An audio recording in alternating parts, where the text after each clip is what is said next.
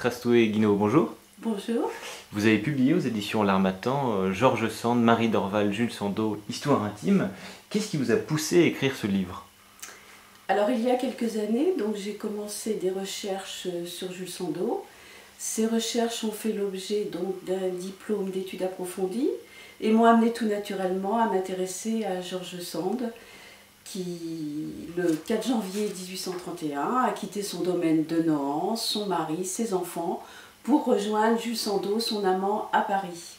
C'est le début de la carrière littéraire que l'on connaît, avec notamment la publication d'Indiana, qui paraîtra sous le pseudonyme de Georges Sand, pseudonyme qui lui a été euh, légué par Jules Sandeau.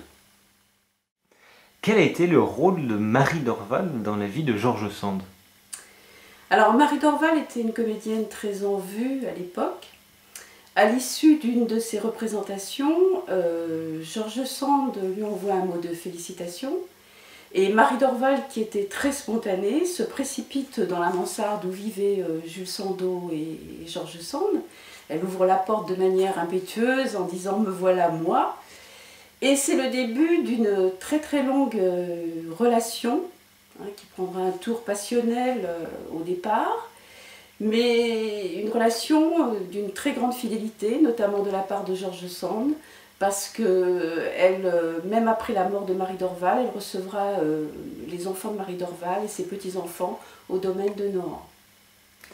Vous avez décidé de réunir les trois personnages, Sand, Dorval, Sando, dans votre ouvrage. Pour quelle raison? Alors après sa rupture avec Georges Sand, Jules Sandeau euh, connaît une sorte de purgatoire. Il a énormément euh, de difficultés à se guérir de ce chagrin d'amour. Il va voyager en Italie, il va devenir le secrétaire de Balzac. Enfin, Dieu merci, il va guérir parce qu'il est jeune et puis parce que la vie le veut ainsi. Et en 1838, il va rencontrer Marie Dorval, qui va devenir sa maîtresse. Et c'est le début, là aussi, d'une relation très passionnelle. Marie Dorval était fort jalouse, notamment du souvenir de, Georges Sand. Elle n'était pas très claire euh, sur ses sentiments. Elle disait euh, Jules Sandeau même parce qu'il retrouve en moi le souvenir de Georges Sand.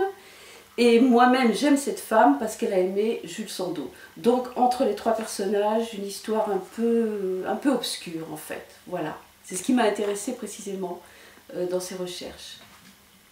Quelles ont été vos sources? Alors, euh, j'ai consulté la correspondance euh, Marie Dorval, Georges Sand à la bibliothèque de l'Institut.